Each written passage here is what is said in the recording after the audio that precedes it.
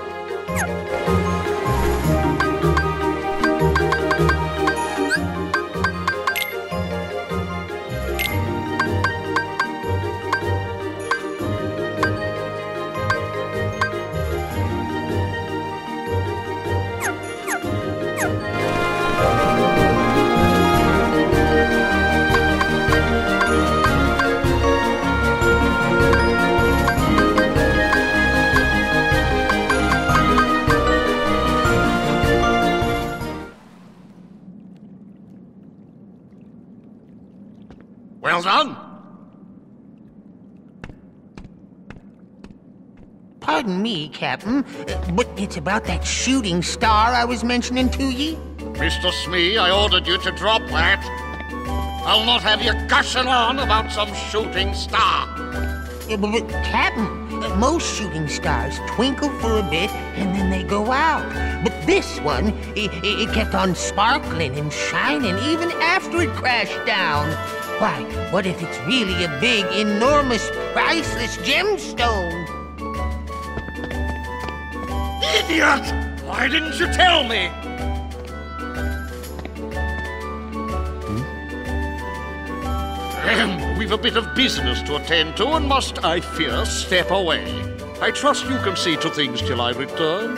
Sure. When Peter Pan gets here, I'll be waiting.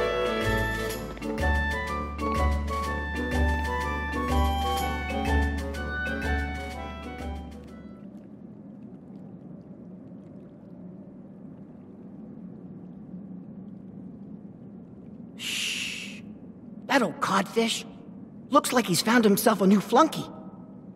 I'll fly down and distract him. Men, you move in and nab the treasure. Are you Peter Pan? That's me! The light is not yours to take.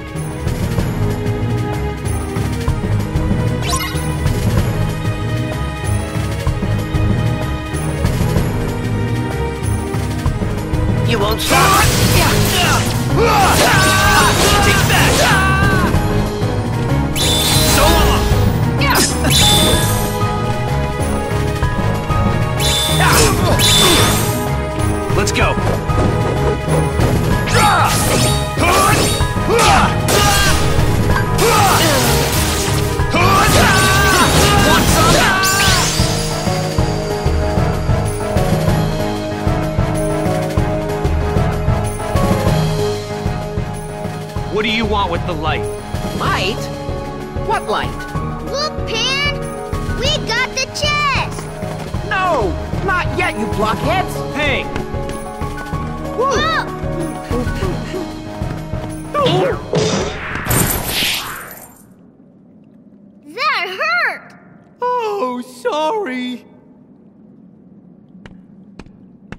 is this? Pirate treasure, of course. Jewels, doubloons, you know, the usual stuff. I've been guarding a pile of loot? Sounds like you've been tricked. I'll say. I owe you an apology. I picked a fight over nothing. Oh, it was all in good fun. Not every day I get to fight such a good swordsman. Say, what's your name anyway? Terra, Right then, Terra.